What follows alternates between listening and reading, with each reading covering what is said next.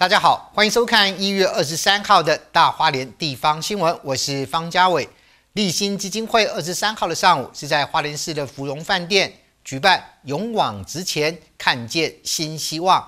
以追求公益和爱的决心以及勇气，预防及消弭家庭暴力对妇女和儿少的伤害。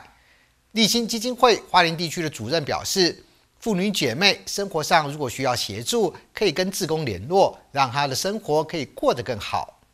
立新基金会有专业服务的根基与系统，从问题发生的预防、治疗到追踪，一系列专业而完整服务。华联地区主任表示，妇女姐妹生活上如果需要协助，可以跟志工联络，让生活可以更好。那也很开心，呃，看到姐妹们现在的生活都过得还不错。那当然，有的人可能因为疫情的关系，啊，那工作上面有一些变化，或者是生活有一些不稳定，嘿，那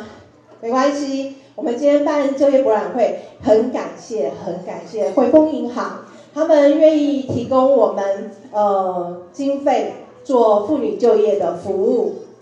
那呃，其实他们依助我们很呃，立新两年近千万，哈。来补助我们妇女就业，那其中有一项是我们花莲很想用，但一直还没有用到，就是妇女创业的部分，小型微型创业。其实我们有几个个案，今天也都在，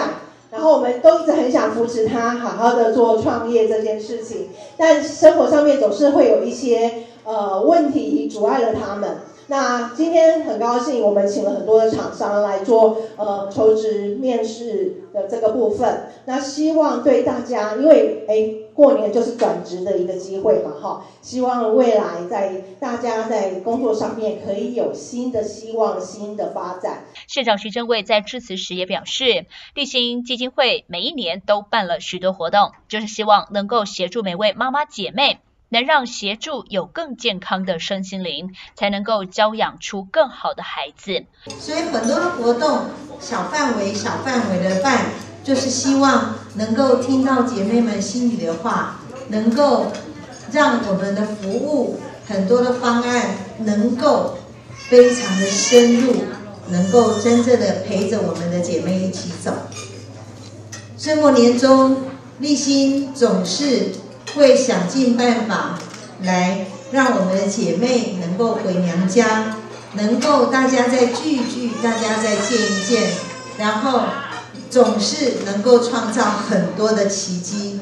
我想今天能够有这么多的姐妹回娘家，真的不容易。还有啊，真的要拜托大家，我们的孩子都是花脸的孩子，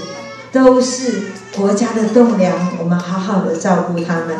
当然，好好的照顾他们的同时，我们每一个妈妈身心灵都要很健康，才有办法养育出、喂养出最健康、内外兼具的孩子。县长也说，希望每位妇女朋友姐妹不要忘记数位学习的重要。花莲县政府也愿意开课程，让大家一起来学习数位教育，才不会让孩子跟现代的数位科技有所脱节。记者林杰华莲市采访报道。